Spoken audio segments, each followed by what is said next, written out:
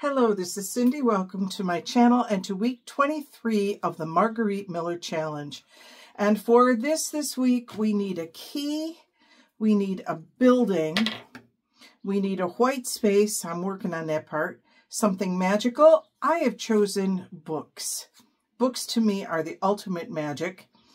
Office supply and bonus a tissue paper. And you're going to, I've got office supply, I have tissue paper, um, and I have a theme. I know where I'm going with this one. So in doing this, in thinking about this, and in starting to put things together, I realized that I have this particular building. It's a magazine ad. I'm actually going to take a little bit less of it than is actually there. Um, so this came out of a, I don't know, some magazine that I get. Um, I only get two magazines. This this one I think came out of the Saturday Evening Post. It's just an ad. But as I was putting things together and I was finding my school my supplies, I realized I was gathering together school supplies that I used as a teacher. And so I thought, okay, I want a building. I like this building because it kind of looks like a school. So I thought I'd go through with that. For my office supplies, this may look like an ordinary piece of planning paper to you. To me, this is 30 years of lesson plans. Every year we were given a notebook with this filled with this paper and we could do our lesson plans. However, we could rearrange. I used to put grids on here and all sorts of things, but this was my plan of work. This was my, I'm, I, am i am not kidding. I can't tell you, 30 years, how many pages of this I filled out year after year after year. I'm going to go to up to the 19, 19, you can tell. When we, I switched to 2000, I think I have some of these that say 2000 on them. Okay, but that also kind of gives me my white space. I'll put that aside for later. And then a school building. What else do I have to have? I have to have a key. Where'd my key go? There's my key. That's the key to knowledge.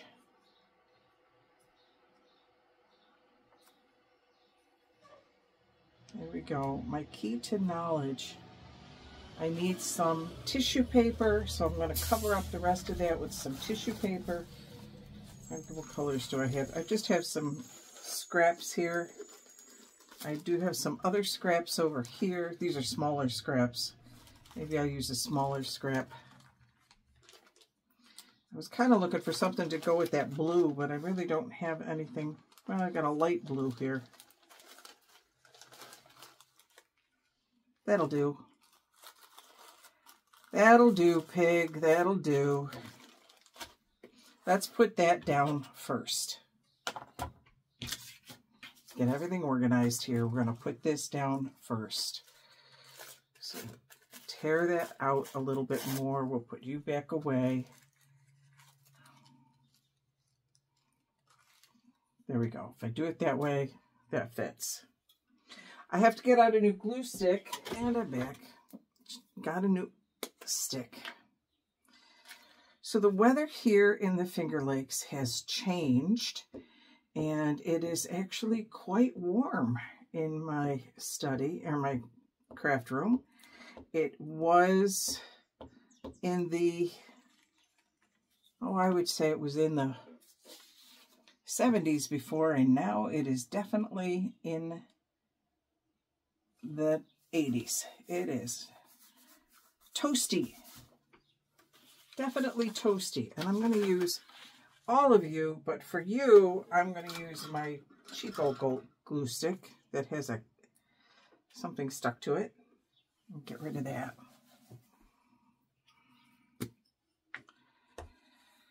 So I've been doing these Margarete Miller challenges now for 23 weeks. Um, sorry. One of the problems with being in the Finger Lakes at the moment is that the pollen is huge. We have a lot of pollen count right now. So I am just a little fishimmeled with that. Okay, this takes up my whole page, which was perfect. I wanted it to because this is my white space.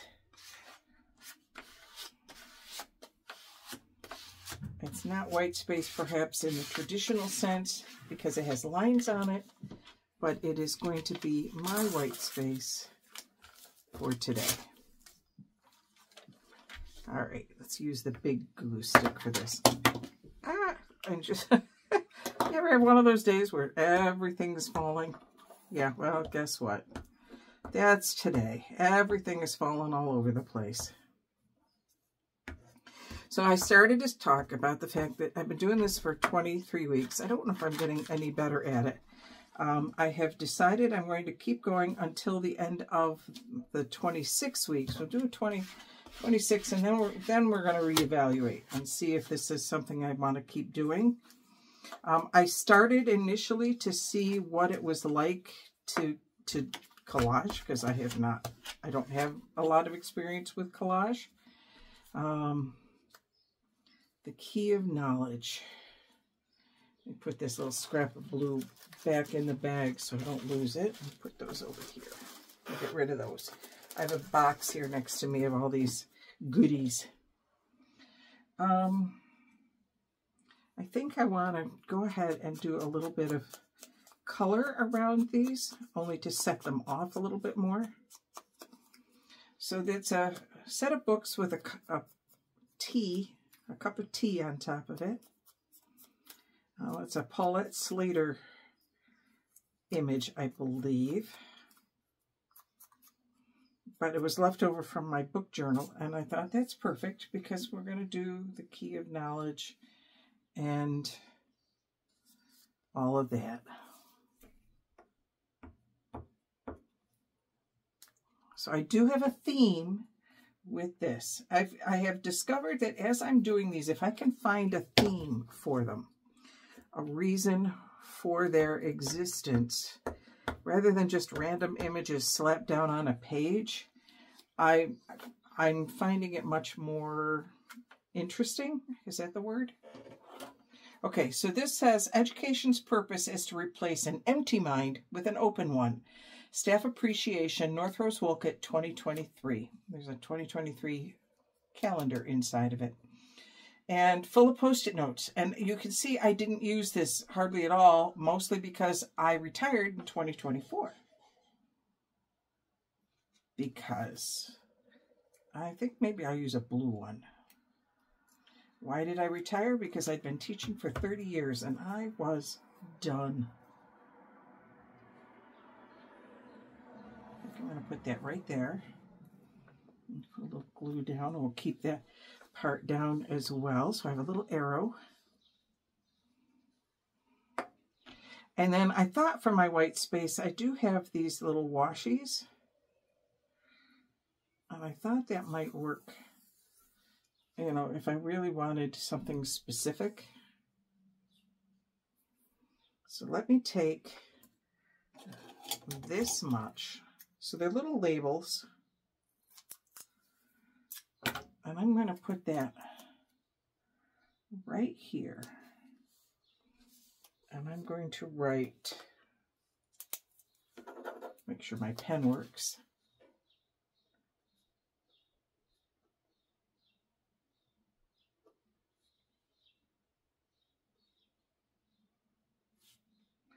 K N O W L E D G E. The key of knowledge. That of my pen doesn't really like this. There we go. I got a lot of space up here, but maybe we'll just stick this up here.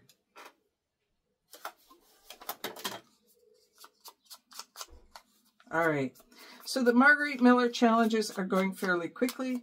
And so I have been kind of also doing a Scrappy Saturday with these. I did one last week. I think I'm going to go ahead and do one again this week because I have, oh my glory, I am like buried in scraps.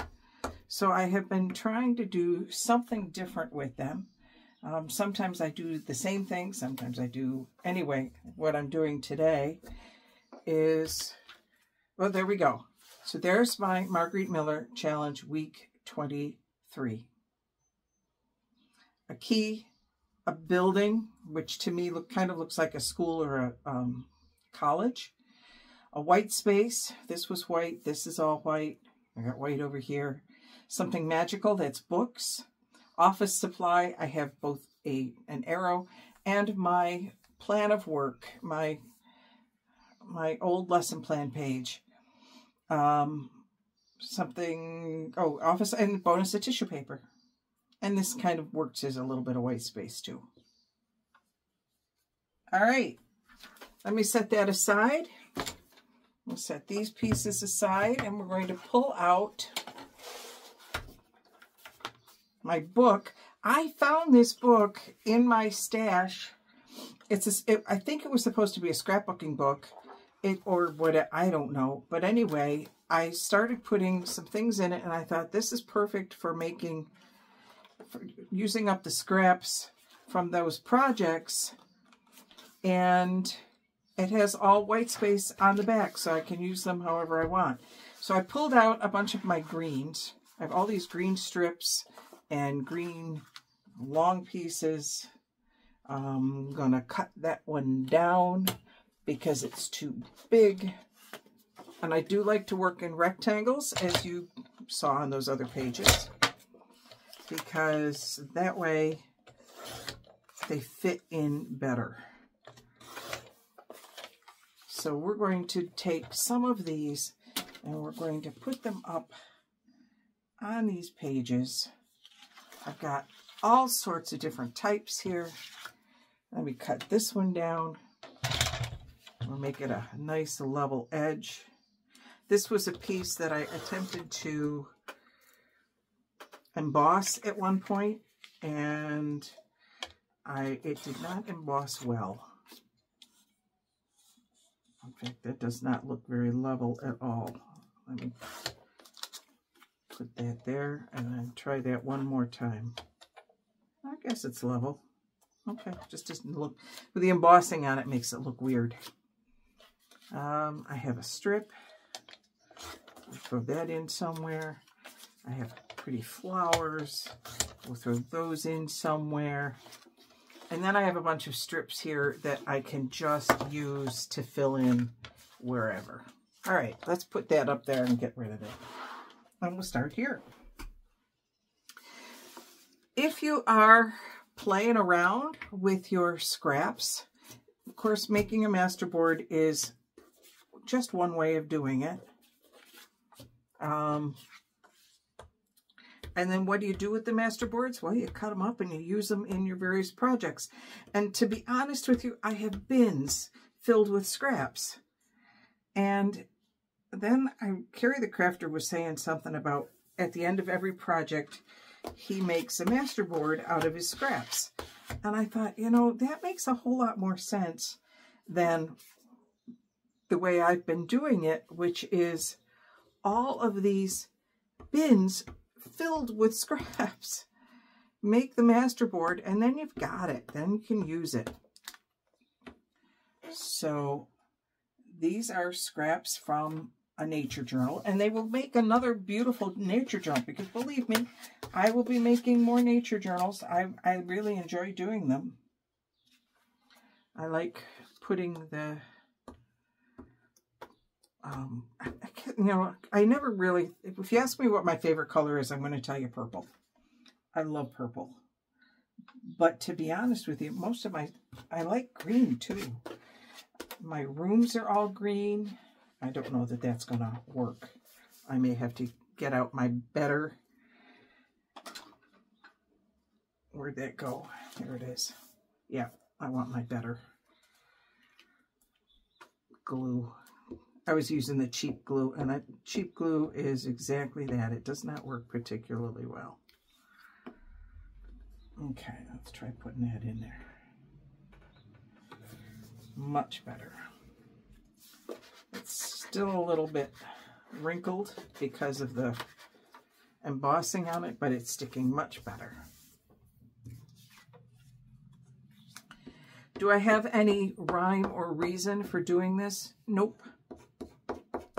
When I do this, I just put things down wherever they happen to go.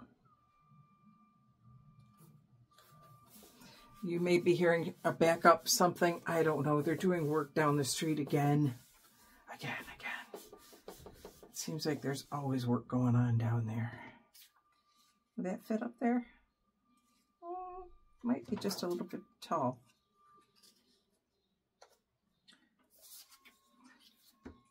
And what's nice is that um, masterboards take your solids and turns them into something interesting. Because when you have nothing but solids, it can get kind of boring. So this turns them into something a little bit more interesting. I'm not going to worry about that piece flapping off up there. I'll just cut it off in a bit.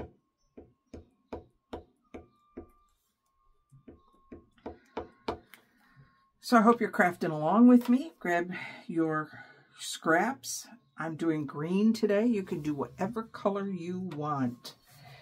You know, I have this long strip here. Let me cut that down. I like to work with the smaller pieces because then not only do they fit better or fit differently, but they, uh, I don't know, I want to make sure I'm not I don't want to do strips. I got to be careful not to do strips. And that's one of the things when I do master boards that I really have to watch out for because I tend to do strips. There we go.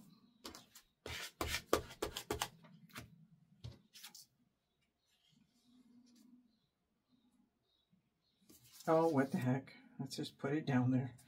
It's going to fit Get that glue up and onto here.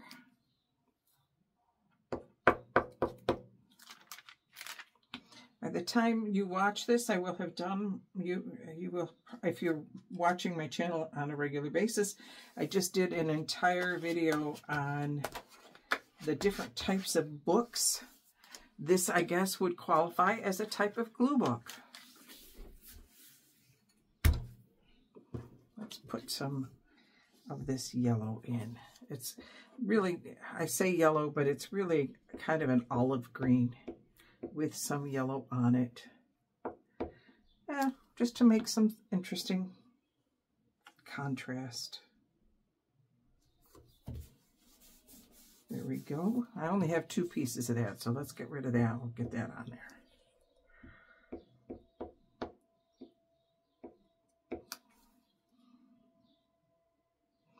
if you've never made a master board before, there are no rules. I use rectangles just because it's easier for me. I have tried using lots of different shapes and sizes and whatnot. I'm not, and it just, I don't know, my brain doesn't work that way and I can't figure out how they go. So, um, I prefer to use rectangles. That's me. It does not have to be you. You do you. You do whatever makes, and if you notice, I'm not measuring. I'm coming up with different sizes and shapes, and that's fine. And whatever I don't have, um, whenever I have a white space, I can always fill it in with washi. So that's not a, a big deal, although I have a lot, a lot, a lot of these very thin shapes. So I can always fill in there too. See, I'm going to end up with a spot here, and that'll be perfect for one of those thin pieces. Adds interest.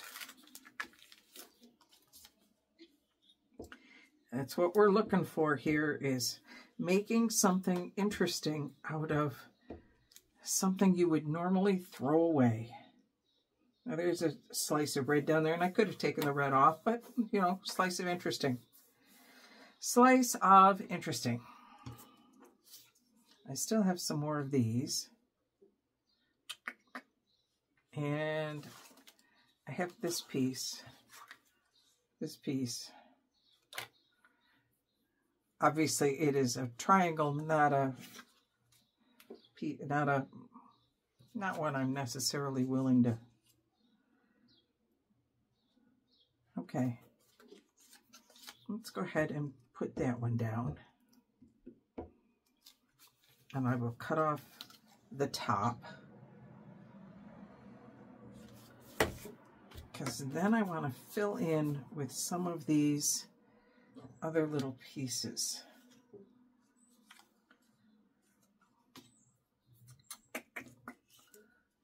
I'm going to have this piece. So if I put that here,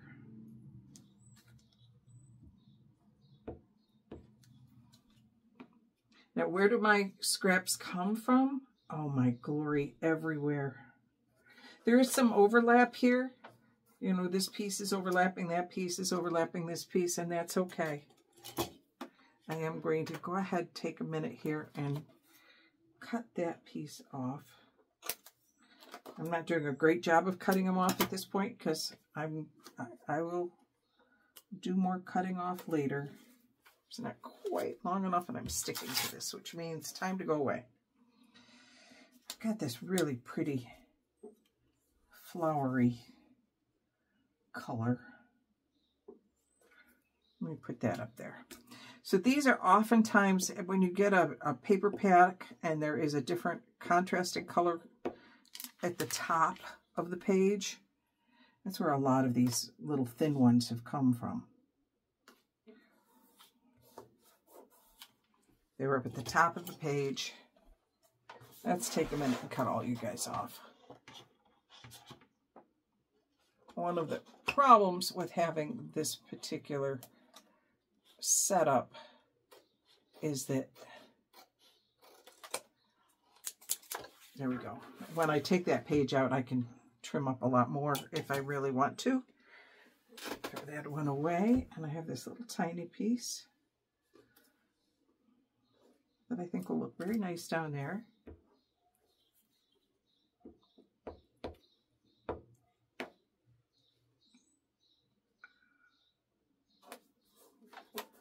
See, I'm overlapping, and that's okay.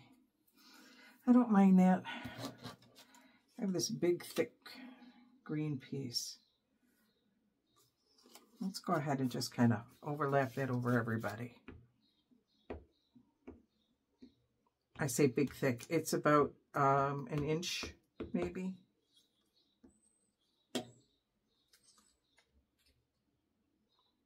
Go there to there.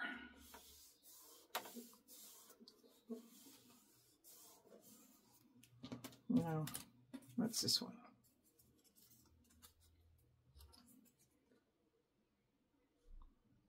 That has words on it. I don't know if I want words on this one. It's not quite wide enough. This one's a very thin piece.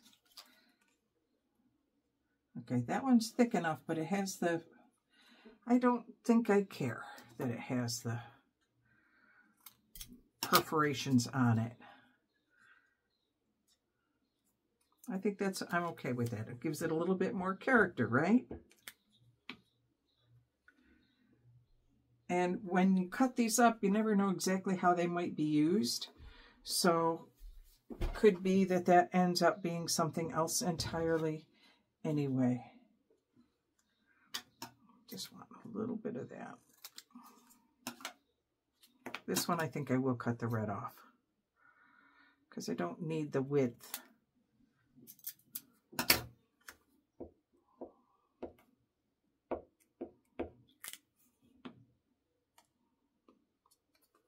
So on this Scrappy Saturday, this is just one way to use up all of these little extra pieces that you have and get rid of them.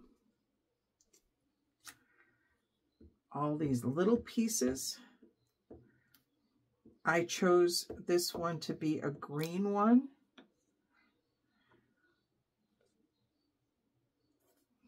You can choose whatever colors you happen to have, whatever you want to get rid of. Okay, that's more of that. I don't want to use that. I have these I'm not going to use. I do like that green. It's just very thin.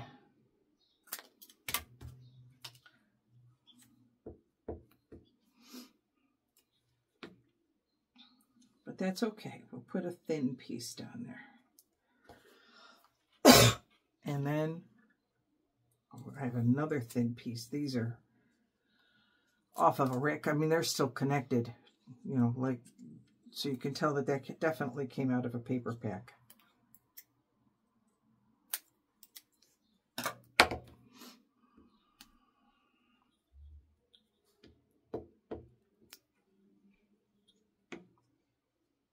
There. So I used up a lot of my green, which is really nice to be, have done cut through this. This will make this easy when I can come from this direction. Cut off my whole bottom edge there of pieces. Those will go, well, that one's kind of a nice piece. I'll keep that one, but those will go away. Of course, they're stuck to my finger because I have glue all over everything. And then we'll cut the top.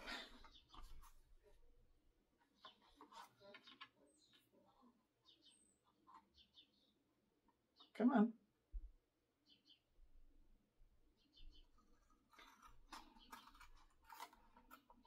There. Trim up the top. And we're done.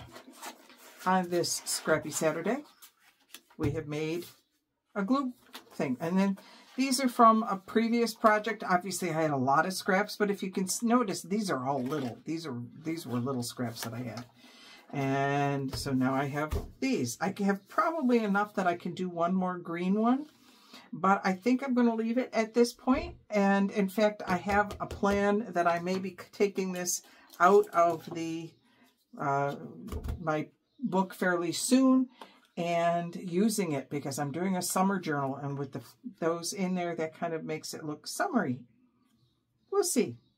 All right. If you are enjoying these videos, please make sure you hit the subscribe button and share them. Let everybody see them. Uh, make sure you click the like button to let YouTube know that you're liking what I'm putting out. And in the meantime, this is Cindy signing off.